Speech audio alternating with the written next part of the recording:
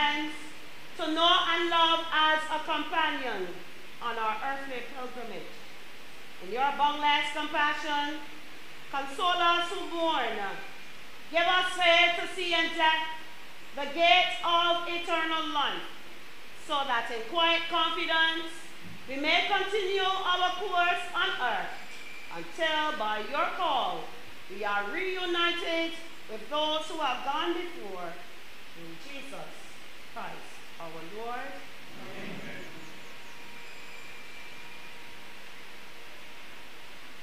Rest eternal grant to him, O Lord. May his soul and all the souls of the faithful departed, through the mercies of God, rest in peace. Amen. They open in him Jerusalem the golden.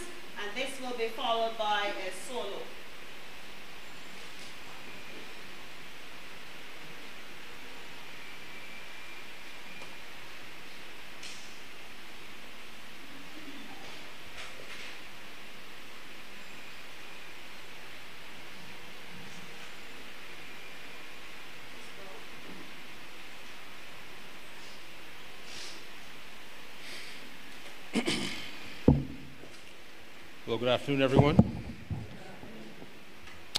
Um, first, I've been given eight strict minutes, so anyone who loves me, when I hit four, please put your hand up. when I was a child, give me a moment, it's cutting into my time.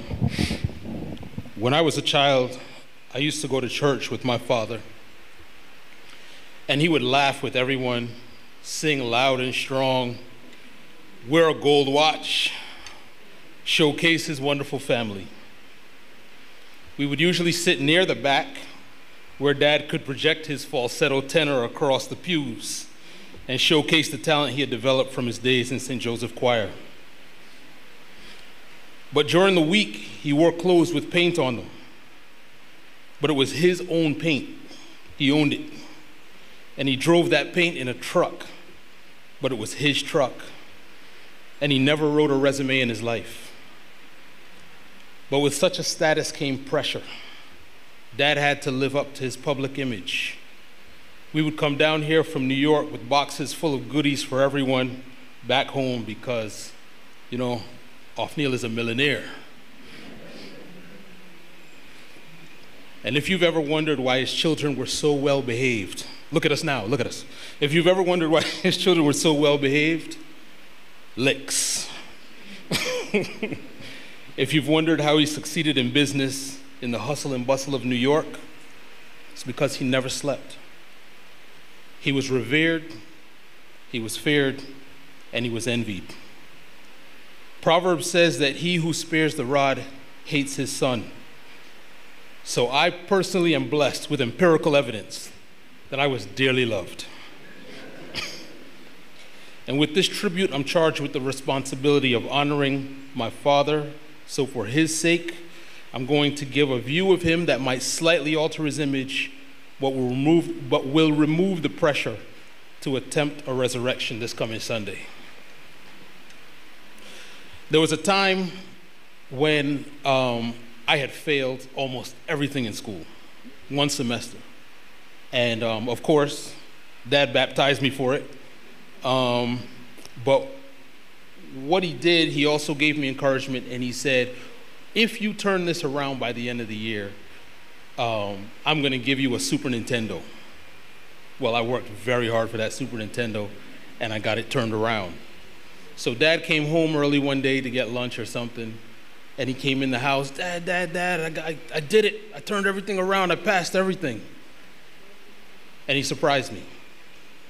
He, he gave me the Super Nintendo later, but at that moment, dad laid down on the bed and cried. That was not what I was expecting. At that point, it showed me a different side of what a father's love looks like. Last week, when we had the memorial in New York, the stories I heard were like a new gospel. Everyone was talking about this person. Um, and what, they, what everyone said was, What a great man. But the mantle of that praise is heavy. He wasn't great because they said so, but because of the sacrifices he made along the way. He often gave so much of himself that he was left nothing good for himself. And so later in life, I'm sitting down with dad, and I had been working a, I don't know, about two years, maybe two and a half years. I had had a full time job, and I was tired. How long am I going to have to do this? I said. And dad, who had been working at that point, must be 40 years in New York or something close to it, he listened to my story about my two, two and a half years, and I said, I'm going to get a lecture on this. And once again, the tear came down dad's eye. And he cried. And he said, I don't know when it ever ends. He understood. So now that I'm a man, I understand what I couldn't fathom before. In spite of my best efforts to detour, I've become him. I live parts of his life from the inside, doing things the way He would do them while knowing my own heart and my own intentions. I understand. Sometimes I say things harshly, knowing that I want the best for the recipient. And although I've refused to wear the gold watch, I still get comparisons about how I speak and how I move. There has been no escape. Unfortunately, it appears I'm also becoming a great man. It would be easy for me to say that I knew him better than all of you, that today is the day that I exposed the real Ophneal Kellman. But what a prideful error it would be to disqualify all of you just because I've lived under his roof. I've discovered finally that the man who yelled at me constantly, cut me with licks, made me work while others played, and often, often directed his spotlight elsewhere so that I had to work for his attention was indeed a great man. Thank you.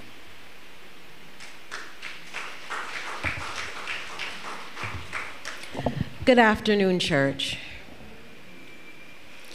This is the second time I've delivered this tribute about my father.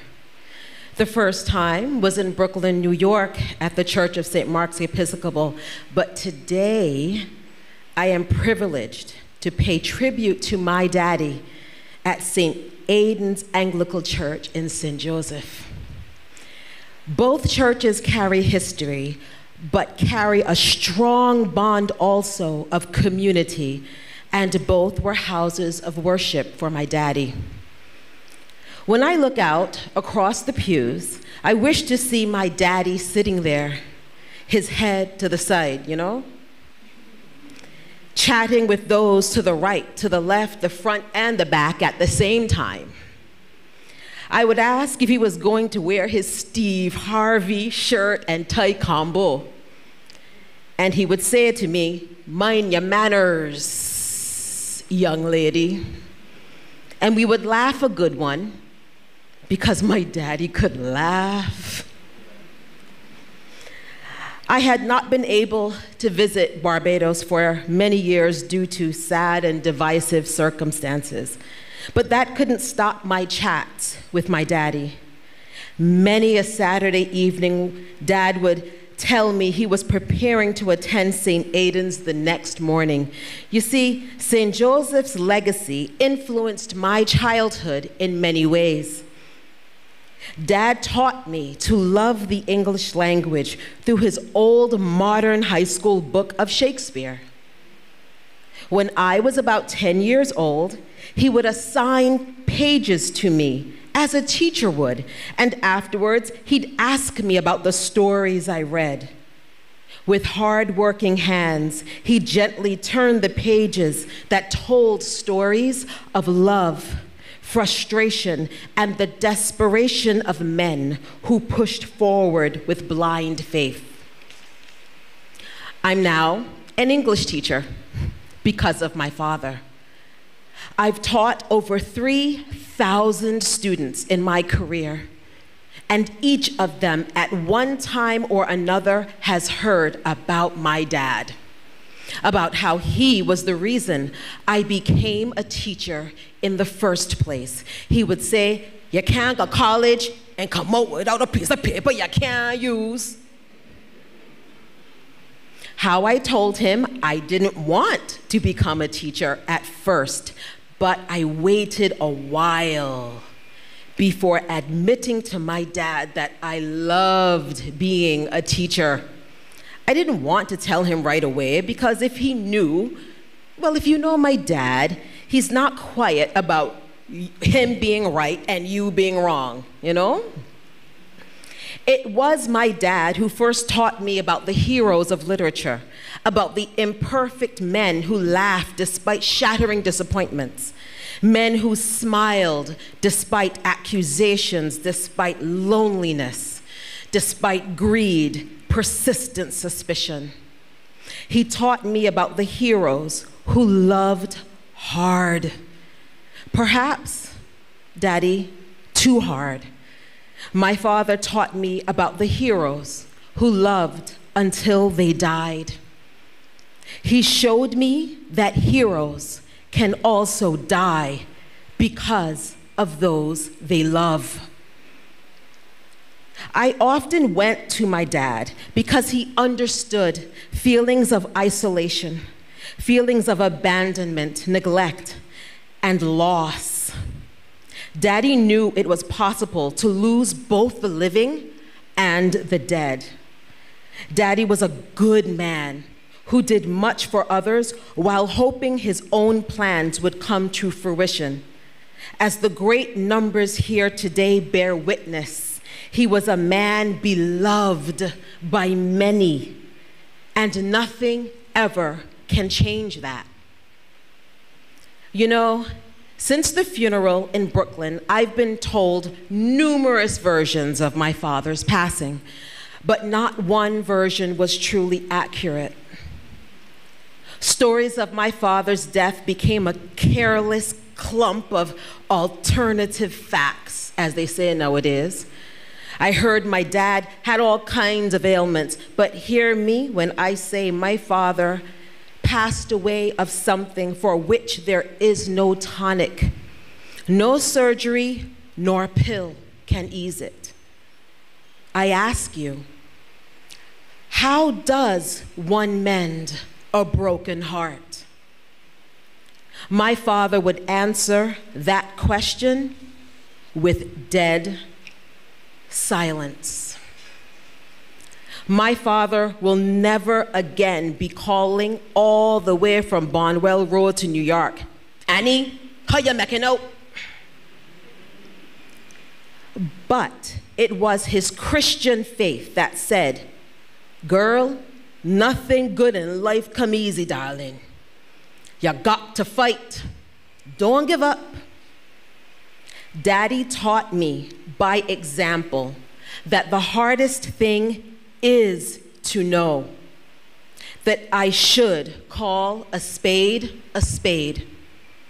And when anything remains painfully obvious, it is all right to mumble underneath my breath. "Huh, you didn't have to go to Oxford and Cambridge for that one. Today, Daddy, you will no longer walk through empty rooms of disappointment because in our Father's house there are many mansions. I can hear him singing tenor now, loudly, harmonizing, in key, and sounding great. If music be the food of love, Daddy, play on. And if grief be the price we pay for love, I will pay all of my life. I am my father's daughter. Daddy, I love you forever.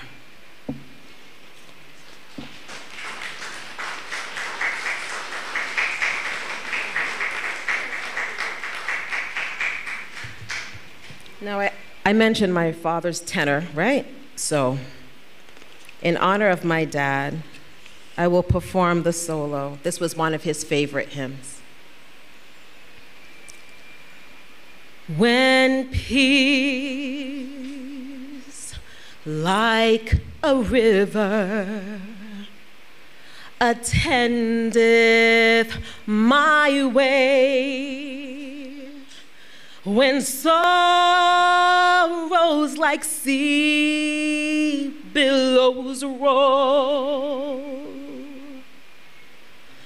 whatever my lot, thou hast taught me to say, it is well, it is well with my soul. It is well with my soul. It is well, it is well with my soul. Though Satan should buffet, though trials should come, let this blessed assurance control that Christ has regarded my helpless estate and has shed his own blood for my soul. It is well with my soul. It is well, it is well with my soul. My sin, oh, the bliss of this glorious thought. My sin, not in part, but the whole, is nailed to the cross, and I bear it no more. Praise the Lord, praise the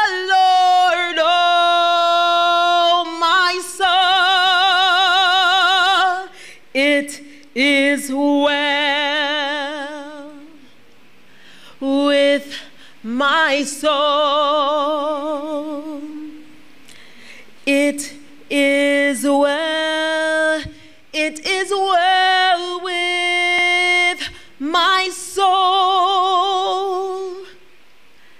And Lord, haste the day when my faith shall be sight. The clouds will be rolled as a scroll. The trump shall resign, and the Lord shall descend. Even so, it is well with my soul.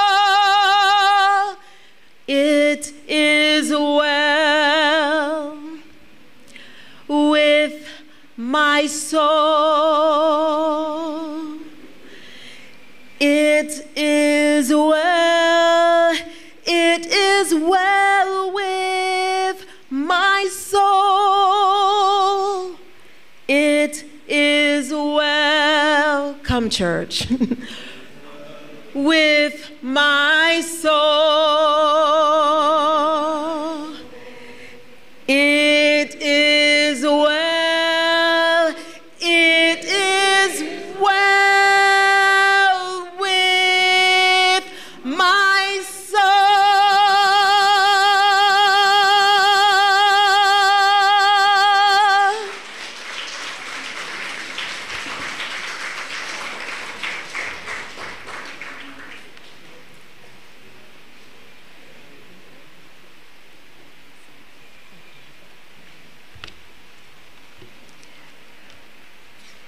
have a quick tribute here from my dad's very close niece, Juliette Kellman.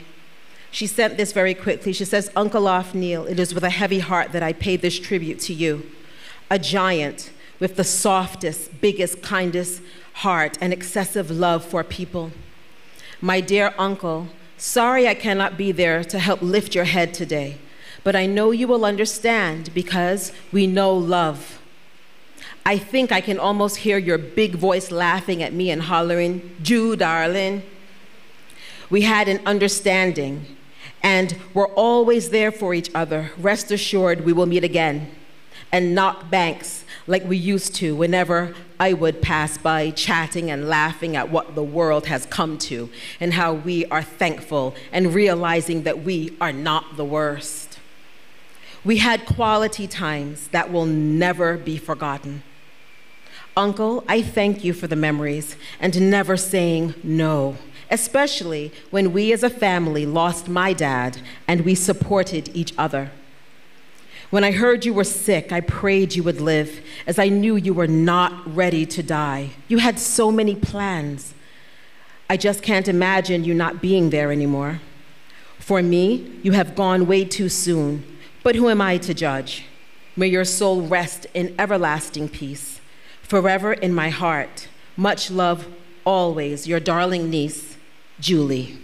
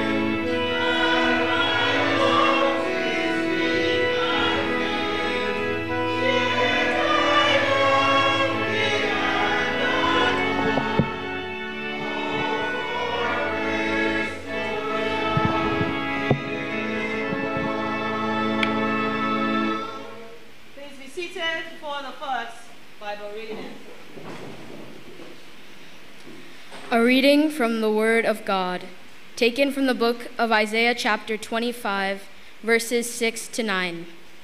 On this mountain, the Lord of hosts will make for all the peoples a feast of fat things, a feast of wine on the lees, of fat things full of marrow, of wine on the lees well refined. And he will destroy on this mountain the covering that is cast over all peoples, the veil that is spread over all nations. He will swallow up death forever, and the Lord God will wipe away tears from all faces, and the reproach of his people he will take away from all the earth. For the Lord has spoken. It will be said on that day, Lo, this is our God. We have waited for him that he might save us. This is the Lord, we have waited for him. Let us be glad and rejoice in his salvation. Here ends the reading.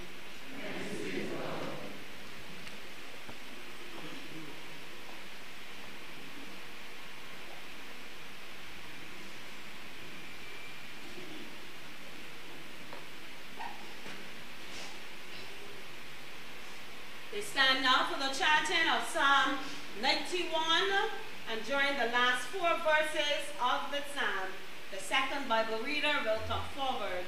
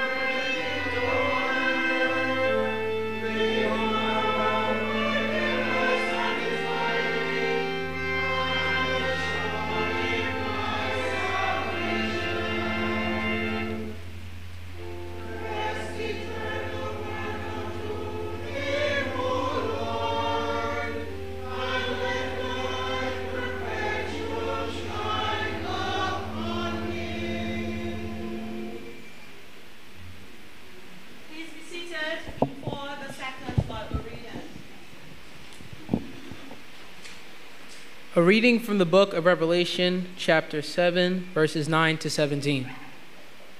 After this I looked, and behold, a great multitude which no man could number, from every nation, from all tribes and peoples and tongues, standing before the throne and before the Lamb, clothed in white robes, with palm branches in their hands, and crying out with a loud voice, Salvation belongs to our God, who sits upon the throne and to the Lamb. And all the angels stood round the throne and round the elders and the four living creatures. And they fell on their faces before the throne and worshiped God, saying, Amen. Blessing and glory and wisdom and thanksgiving and horror and power might be to our God forever and ever. Amen. Then one of the elders addressed me, saying, Who are these covered in white robes? And whence they come. I said to him, Sir, you know. And he, and he said to me, These are they who come out of the great tribulation. They have washed their robes and made them in the blood of the Lamb. Therefore are they before the throne of God, and serve him day and night within his temple and he who sits upon the throne will shelter him with his presence. Therefore, they are before the throne of God. Oh, they shall hunger no more, neither thirst any more. The sun shall not strike them, nor any scorching heat. For the Lamb in the midst of the throne will be at their shepherd, and he will guide them to springs of living water, and God will wipe away any, every tear from their eyes. The word of the Lord.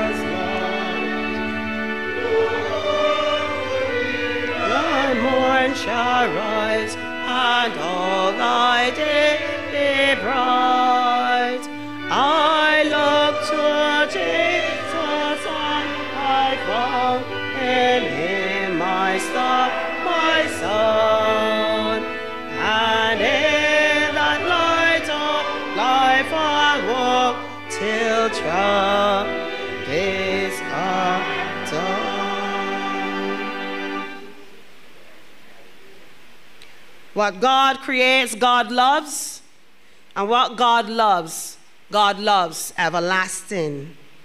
The Lord appeared to him from afar, saying, I have loved you with an everlasting love. Therefore, I have drawn you with loving kindness. Words taken from the prophet Jeremiah, chapter 31 and uh, verse 3. May the word meditation of our hearts be now and always acceptable in thy sight, O Lord, our strength and our Redeemer. Amen. Please be seated.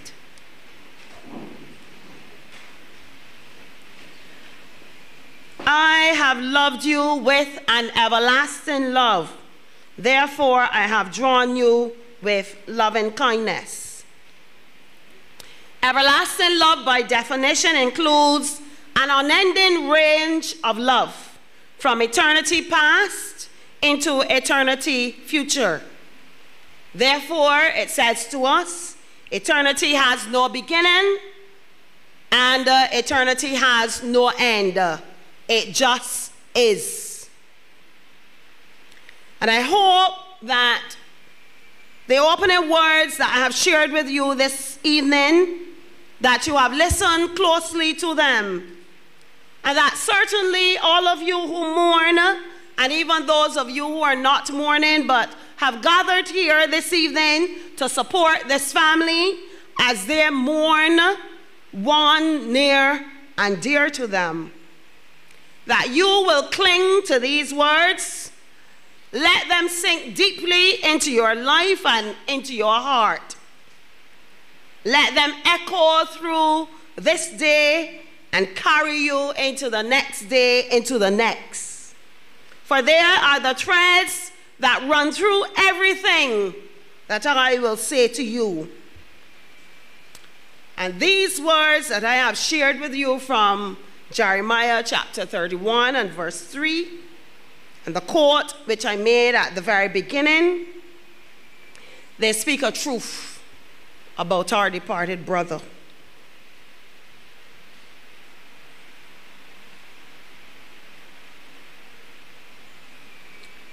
And if there is anything that overcomes or sees us through death, Thanks be to God this day, my brothers and sisters in Christ. It is that four letter word, love. And we are reminded that it is a love that is stronger than death.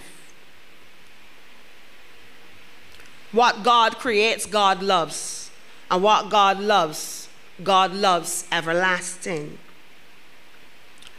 Those words were true for Ophneal before he died, and they are true for him today.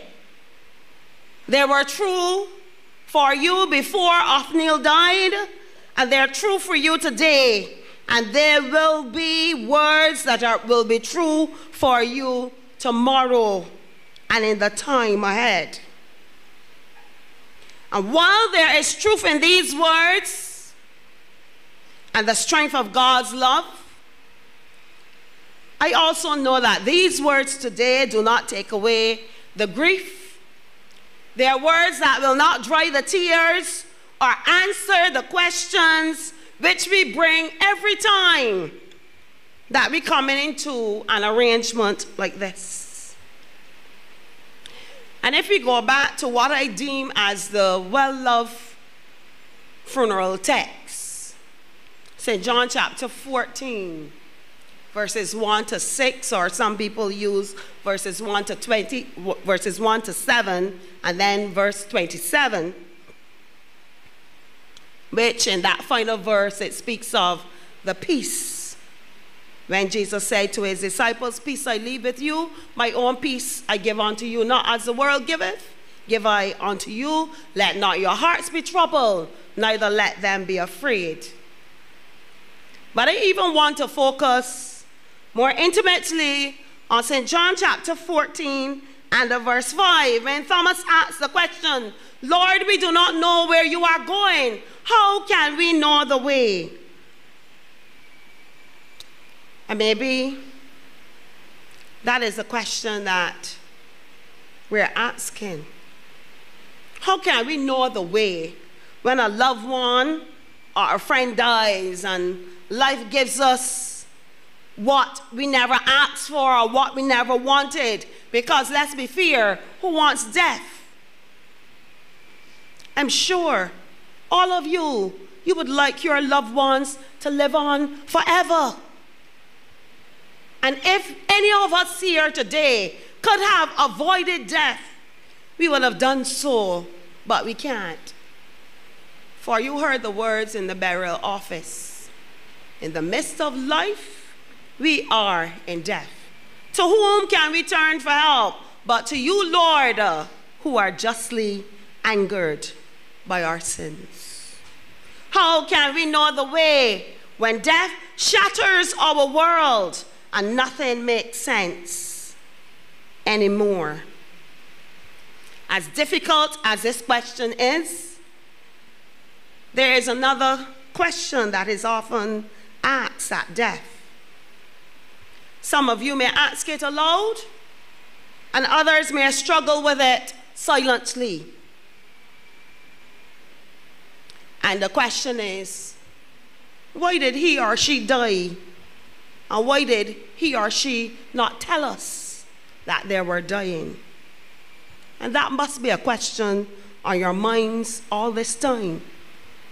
Why didn't he or she tell us that they were sick? And why did they not give us the opportunity to be there to help them and to love them through the process? Like I said, I won't do a round robin this evening, but time and time again we come, and as we face death, we ask these questions. And uh, sometimes when we greet the family, we say to them, I wish I could do more to help you. I wish I could make things different for you. And more often than not, as I posed the question just now, we ask the question of the dead person. But it is not really the question that we are asking to the dead person. The questions that we are asking, all those questions, they are for ourselves. They are questions that come from a deep and profound grief, a grief that causes us to wonder and a grief that causes us at times to believe and very often we hear people saying, I should have known, should not have known a whole lot. Or we hear pe- persons saying, I should have seen something. I should have picked up that something was wrong. If only I had figured it out, I could have done something. I would have said this or done that. I could have made a difference. And friends in Christ, this evening, as we gathered, I reflected on these very words. And I thought a lot about the second question of the Ophneal Kellman that I knew. It was echoed in the sentiments this evening where he sat in church. He sat in that last pew there where the lady's sitting in the beige dress, just where she's sitting Ophneal sat there every Sunday when he came to church. And yes, he had his large music print hymn book, and he sang with all luster and gusto. And I had the privilege of chatting with Ophneal time in and time out. And I always made a joke with him. He was a funny man, I thought. And whenever I greeted him on Sunday morning, I would, because he was a tower of a man above me and a very broad chest, I would always take my left hand and I would tap him in his chest and say, Hello, friend, how are you doing today? And he would say to me, Reverend, I'm fine, or whatever the case may be. And I recall at this point the last time that Ophneal went to church and I chatted with him, we made a joke and everything. As per usual, and it was always a joy and pleasure to see him at church. And I remembered A few Sunday mornings later, I did not see Ophneal. He had given me his telephone number, and I would make contact with him from time to time just to check in to see how he was doing. And when I climbed the hill at Cleaver's Hill, and I made the right turn, Ophneal's car was parked by the bus terminal there. And I rolled down my windows and I said to him, Hello, friend, I'm missing you today. What happened? And he said to me, Rev, I'm all right. Um, I'm doing some work at home, and as soon as I'm finished, I will return. Well, I say to you this evening, he did not return. I did not even realize that he was overseas, but I would call and I was not getting a reply until later I got the sad news that Ophneal was dead. And I'm, suppo- I'm, I'm supposing and believing that as I got that news, and uh, shall I say, kind of shock, because if we know within ourselves that there's nothing wrong when the news comes that a loved one has died, it throws us all into a tailspin. And I'm not going to deny that this evening. And when the news came and my warden brought the news, I said to her, my warden and uh, Miss Bess, I said to them, are y'all sure about this? And I'm saying something here to you before I continue the rest of my address. After I heard that, I went to Google. And I just decided for something in me, I Googled Ophneal Kellman. The news was not official yet. But I Googled Ophneal Kellman. And when I Googled Ophneal Kellman, I recognized there were two Ophneal Kellmans, a senior and a junior, and I didn't know about the junior. And I sat there and I pondered to myself, are these people really true? Do they have this thing correct? Because in my mind yet had not come to grips with what had taken place because like I said, each time I encountered him and I inquired of him, he gave a positive answer. And then I spoke finally, the wife called and she said, Yes, Ophneal has died. And I want to say two things to all of you this evening.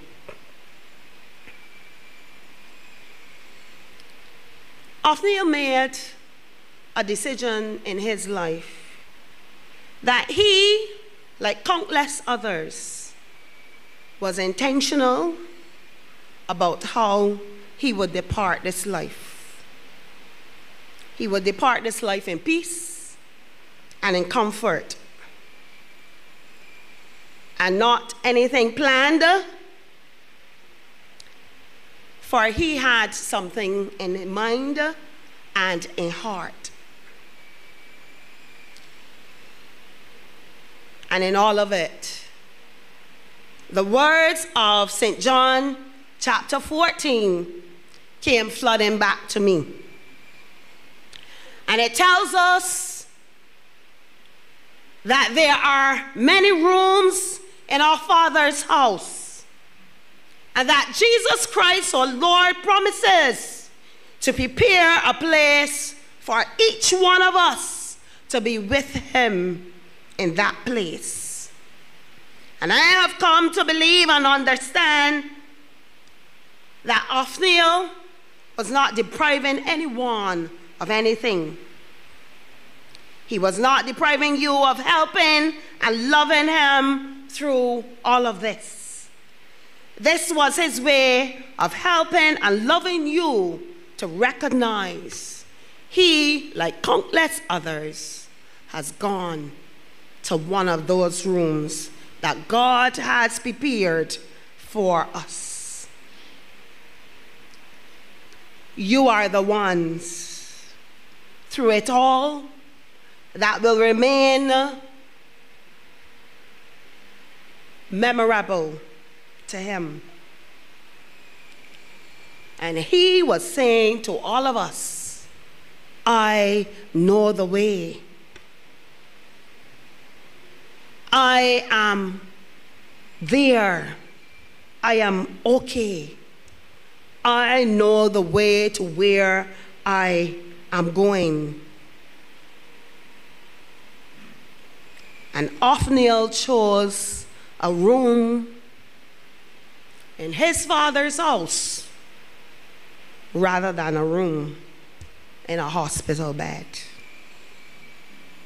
That, my brothers and sisters in Christ, is someone who knows the way, someone uh, who is okay with himself, someone who knows the many rooms that the Father has prepared for him.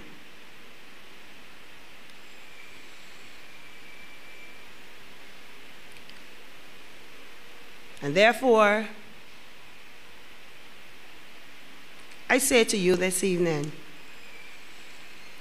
as we remember him with love and thanksgiving, Ophneal did it this way.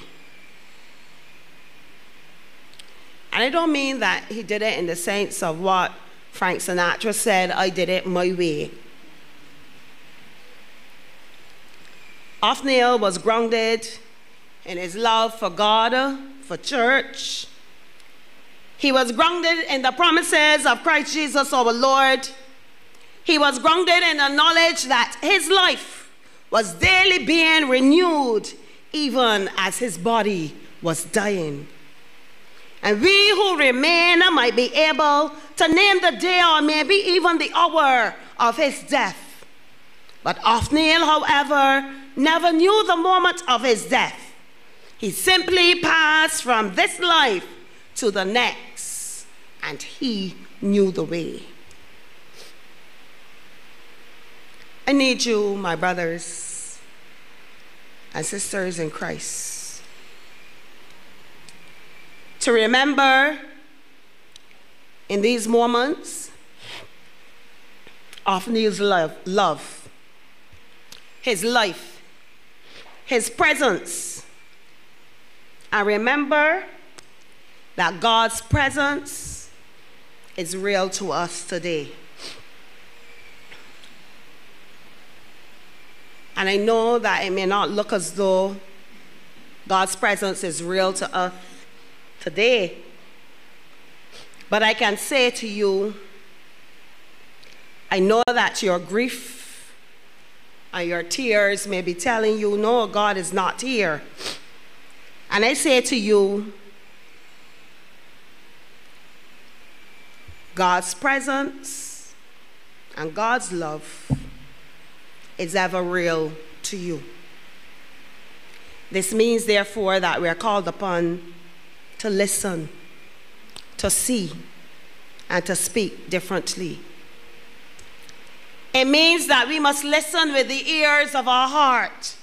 We must listen to God's voice, and when it seems that silence is all we hear, we must trust that His voice has never grown quiet.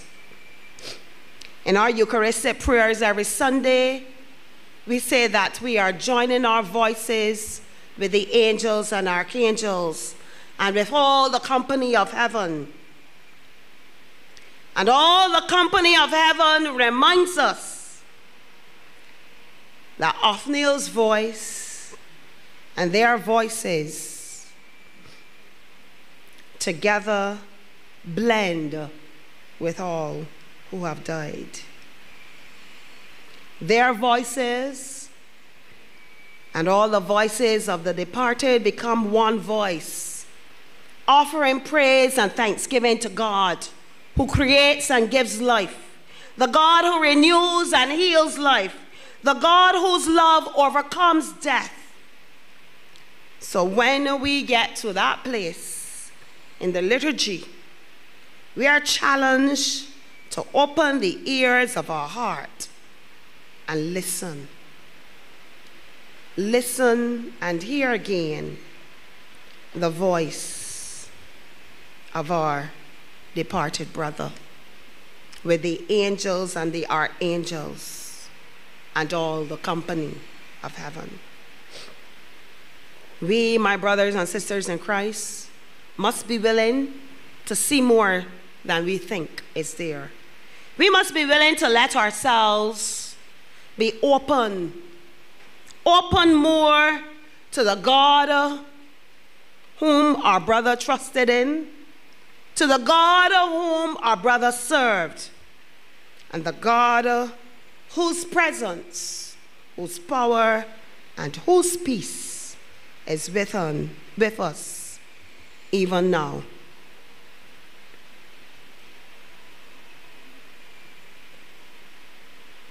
Finally, my friends in Christ, there's a never ending story to Ophneal's life. And today, as we gather and we remember the God of love who loved him and who loves us all unconditionally, I'm challenging you in these moments to know the presence and the peace of God which passes our own understanding. Because our understanding is limited. And if we continue to hold on to our understanding, we will go nowhere in a hurry. And I'm challenging you in the words of Proverbs to trust in the Lord with all your heart. Nothing of what we celebrate or say today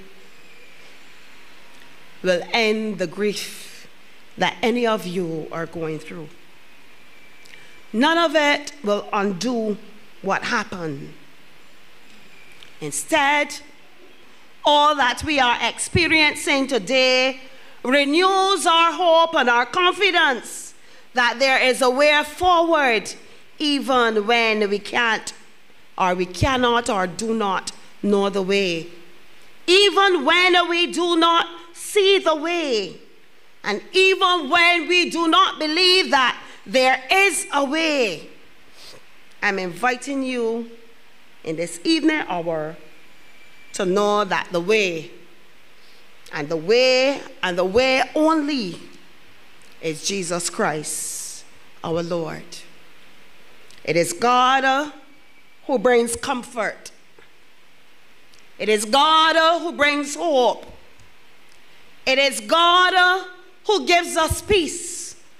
It is God who grants us more and more understanding. And it is still God and will ever be God who gives us the strength to carry on. And I am saying to you, lean on God's everlasting arms. Trust Him. And remember, to us and for us, life is changed, not ended. And when our mortal bodies lie in dust, there is a dwelling place prepared for all of us, a dwelling place eternal in the heavens. God uh, created Ophneal, and he loved Ophneal. And as he loved him in life, he will love him to the everlasting joys of heaven. So, to all of you, the love that you had for Ophneal, it will never die. It will live on in your hearts to all eternity. But if I can say anything more to you, I will say to you take the good things of Ophneal's life, the the hallmarks, the footprints, however you may name them, and let them live on in your hearts and in your lives and in your children and in your children's children. And let the memories of him not die, but may they continue to grow within your family and bind you all together with the cords of love that cannot be broken. On behalf of the parish family here at St. Joseph and St. Aidan, I extend to you, his relatives and friends, our deepest condolences. Be assured of the prayers of the church in this your time of grief. And I invite you evermore to remember that the eternal God uh, is your refuge. Underneath are his everlasting life. So remember what God creates, God loves. And what God loves, he loves to everlasting. In the name of God the Father, God the Son, and God the Holy Spirit. Amen.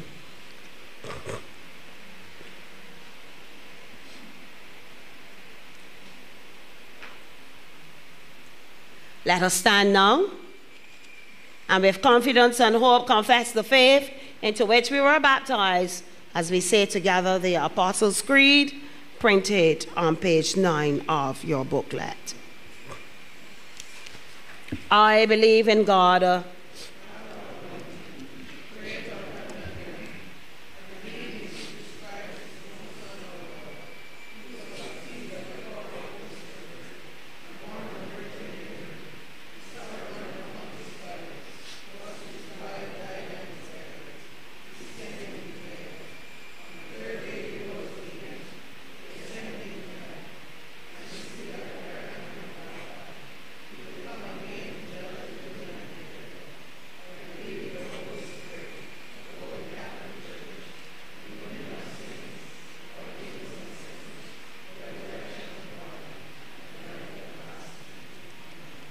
The Lord be with you.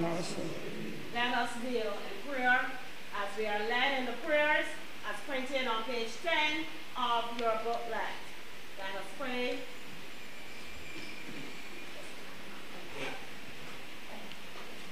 For our brother Ophneal de Costa, let us pray to our Lord Jesus Christ, who said, I am the resurrection and I am the life.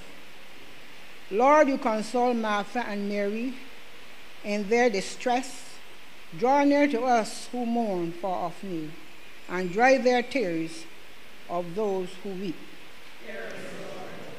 You wept at the grave of Lazarus, your friend. Comfort us in our sorrow. You raise the dead to life. Give to our brother eternal life. You promise paradise to the thief who repented. Bring our brother to the joy of heaven. Our brother was washed in baptism and anointed with the Holy Spirit. Give him fellowship with all your saints. He was nourished with your body and blood. Grant him a place at your table in your heavenly kingdom. Comfort us in our sorrows at the death of our brother Ophneal. Let our faith be our consolation and eternal life our hope. Let us pray. Lord our Jesus Christ, we commend to you our brother Ophneal the Costa, who was reborn by water and the Spirit in holy baptism. Grant that his death may recall to us your victory over death, and be an occasion for us to renew our trust in your Father's love. Give us, we pray, the faith to follow where you have led the way, and where you live and reign with the Father and the Holy Spirit to the ages of ages. Amen. We stand now and join and sing the hymn, rescue the perishing, care for the dying, and during the singing of this hymn, a collection will be taken for the ongoing ministry of our church, and we thank you in advance for your contribution.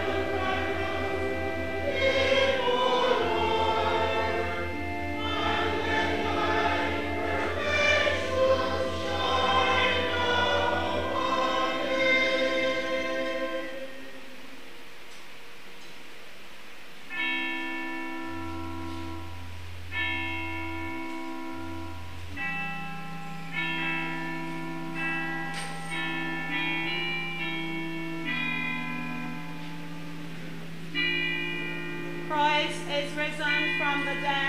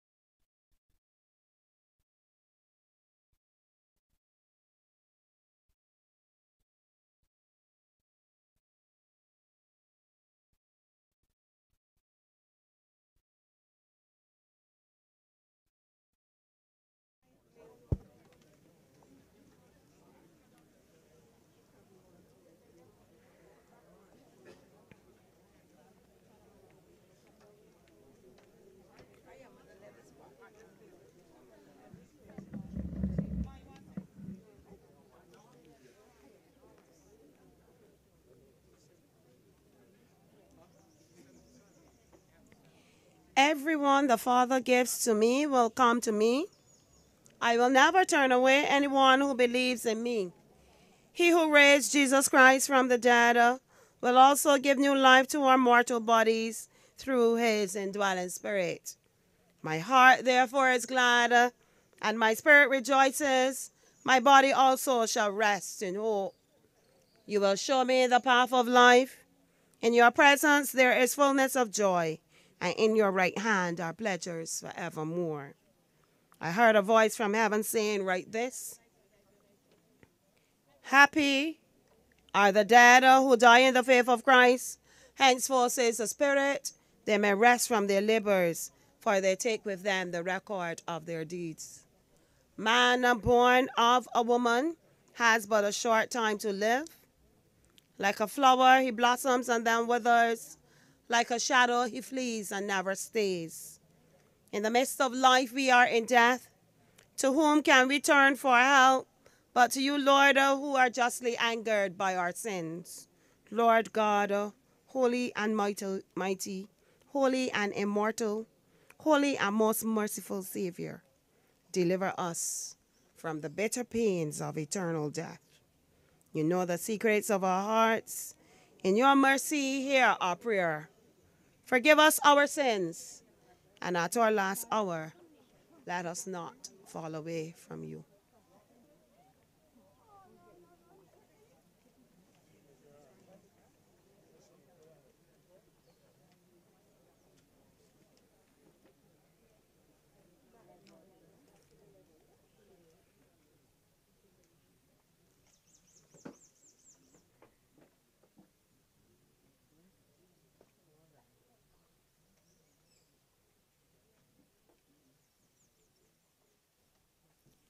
In sure and certain hope of resurrection to eternal life through our Lord uh, Jesus Christ, we commend to Almighty God our brother Ophneal da Costa, and we commend his body to the ground, earth to earth, ashes to ashes, and uh, dust to dust.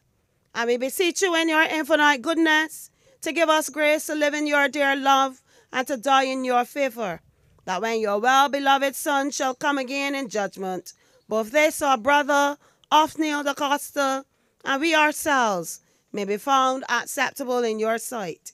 Grant this for the sake of your Son, Jesus Christ our Lord. Amen.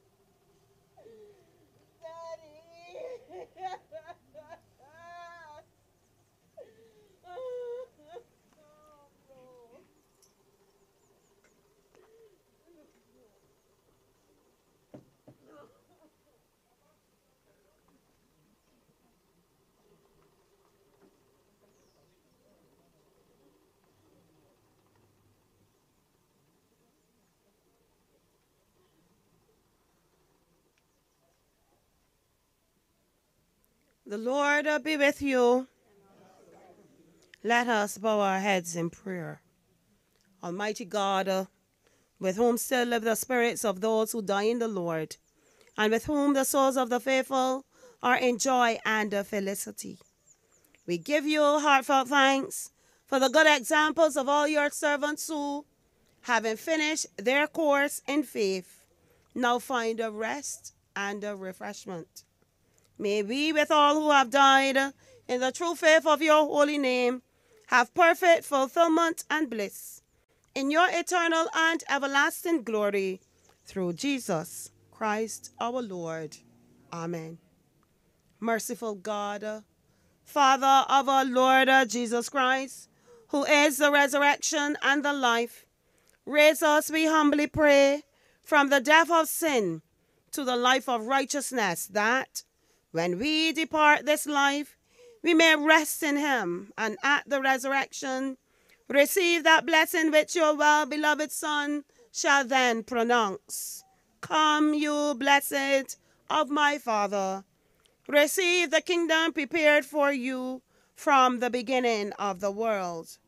Grant this, O merciful Father, Jesus Christ, our mediator and redeemer. Amen. Grant, O Lord, uh, to all who are bereaved, the spirit of faith and courage, that you may have the strength to meet the days to come with steadfastness and patience, not sorrowing as those without hope, but in thankful remembrance of God's great goodness and in the joyful expectation of eternal life with those in the name of Jesus Christ our Lord. Amen. Rest eternal grant to him, O Lord. May he and all the faithful departed, through the mercy of God, rest in peace. Amen. The Lord bless him and keep him. The Lord make his face to shine upon him, and evermore be gracious to him. May the Lord lift up the light of his countenance upon him, and give him peace, now and forevermore. Amen.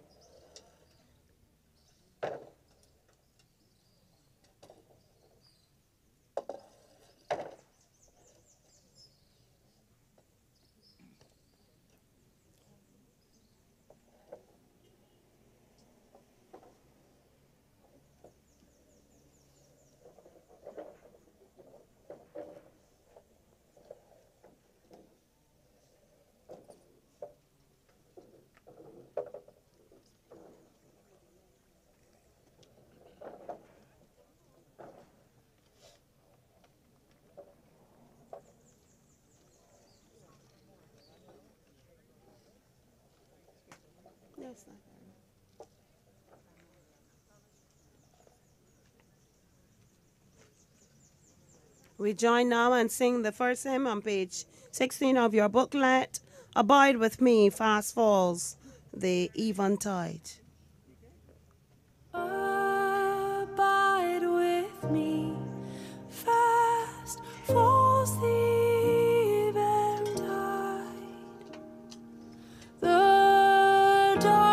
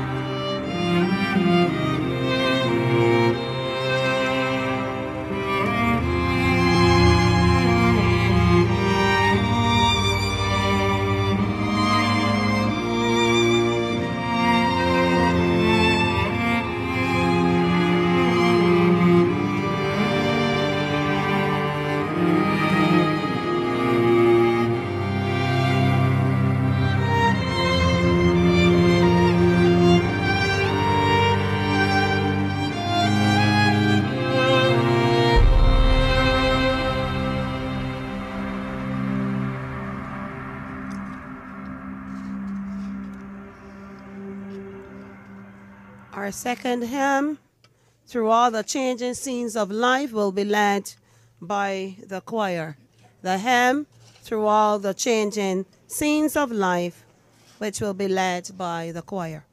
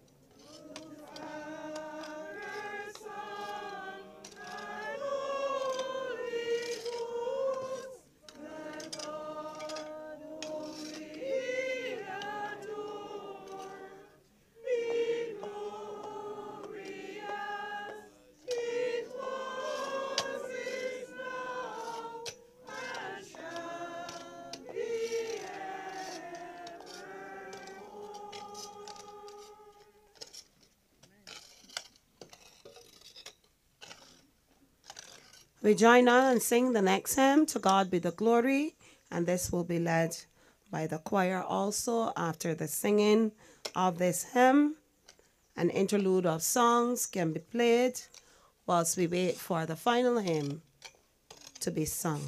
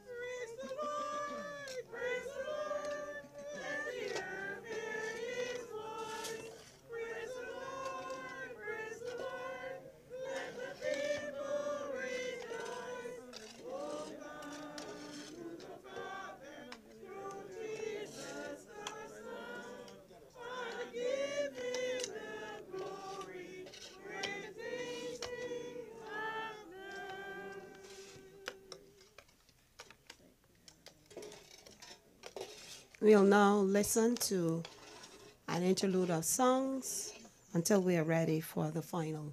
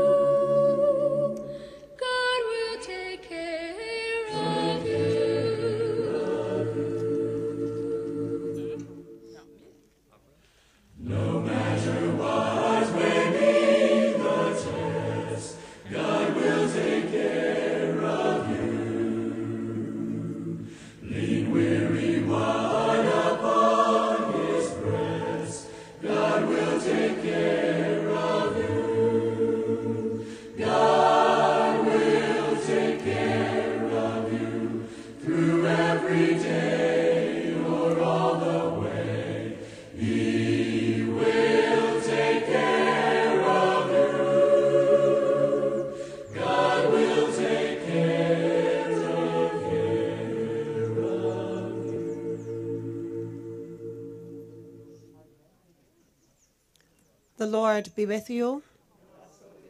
Let us pray.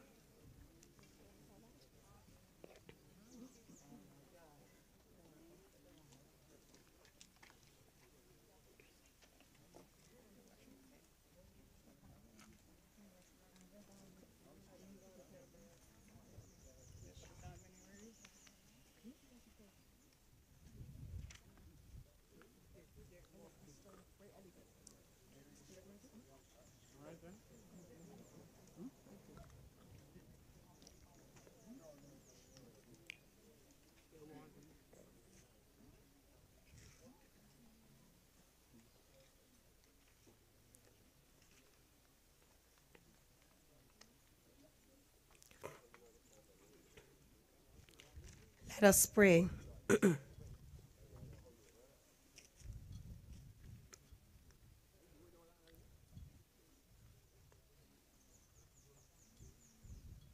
Merciful Father and Lord of all life, we praise you that men and women are made in your image and reflect your truth and light. We thank you for the life of your son, Ophneal, for the love and mercy he received from you and showed among us. And above all, we rejoice at your gracious promise to all your servants, living and departed, that we shall rise again at the coming of Christ. And we ask that in due time we may share with our brother that clearer vision when we shall see your face in the same Christ our Lord. Amen. Remember, O Lord, this your servant who has gone before us with the sign of faith and now rests in the sleep of peace. According to your promises, grant to him and to all who rest in Christ refreshment, light, and peace through the same Christ our Lord. Amen. We join now and we sing the closing hymn, The Day Thou Gavest, Lord, is ended, as the floral tributes are laid. And this will be led by the choir.